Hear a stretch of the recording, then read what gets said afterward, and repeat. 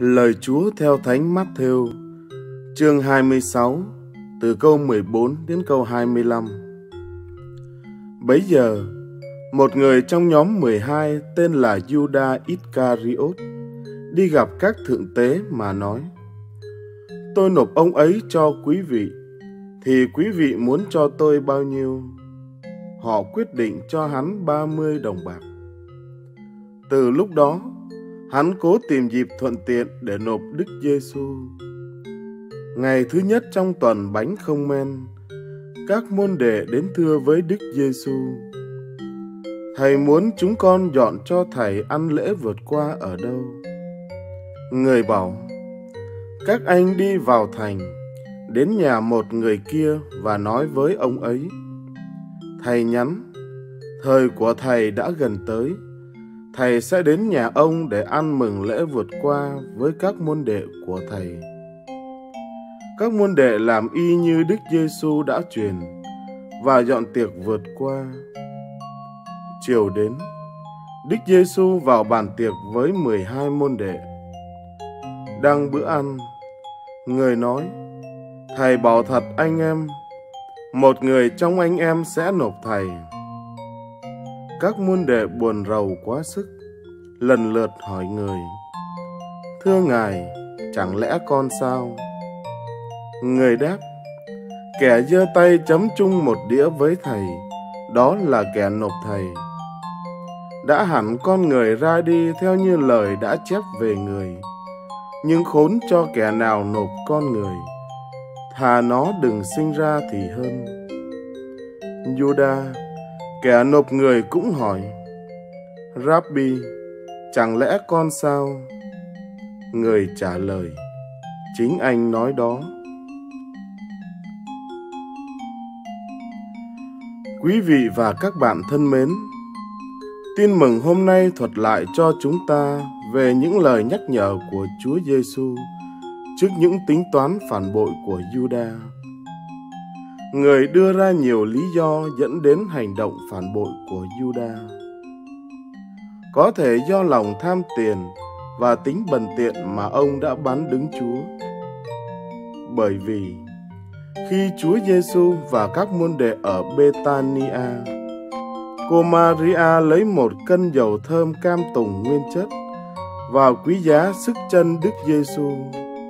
Cả nhà sực mùi thơm Lúc đó, Juda đã phản ứng và nói, Sao lại không bán dầu thơm đó lấy ba trăm quan tiền mà cho người nghèo? Thánh Gioan cho biết, Y nói thế, không phải vì lo cho người nghèo, nhưng vì Y là một tên ăn cắp. Y giữ túi tiền và thường lấy cho mình những gì người ta bỏ vào quỹ chung có thể do lòng căm ghét thúc đẩy ông tìm cách hạ sát con người mà ông đã đặt quá nhiều hy vọng. Thật vậy, Juda đã chứng kiến quyền năng phi thường nơi Chúa Giêsu. Vì thế, ông xem Chúa Giêsu như là một lãnh tụ từ trời sai xuống để lãnh đạo một cuộc nổi dậy lớn lao. Nhưng rồi ông lại thấy Chúa Giêsu cố tình đi theo hướng của thập giá, không phải là hướng ông mong muốn. Từ đó, lòng nhiệt thành của ông chuyển hướng thành nỗi căm ghét. Ông đã căm ghét vì Chúa Giêsu là con người không như ông mong muốn. Cũng có thể do Juda không hề có ý định làm cho Chúa chết Juda đã nhận ra Chúa Giêsu là một lãnh tụ từ trời đến. Ông muốn thúc đẩy Chúa Giêsu thực hiện cuộc nổi dậy sớm. Vì thế, ông nộp Chúa Giêsu để buộc người phải ra tay hành động. Nhưng cho dù xuất phát từ lý do nào, chúng ta cũng thấy nơi Juda một sự sa ngã đầy tính toán.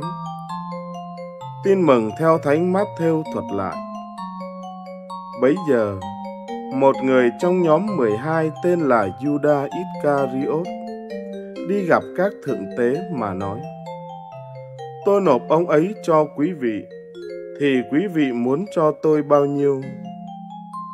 họ quyết định cho hắn 30 đồng bạc. Từ lúc đó, hắn cố tìm dịp thuận tiện để nộp Đức Giêsu.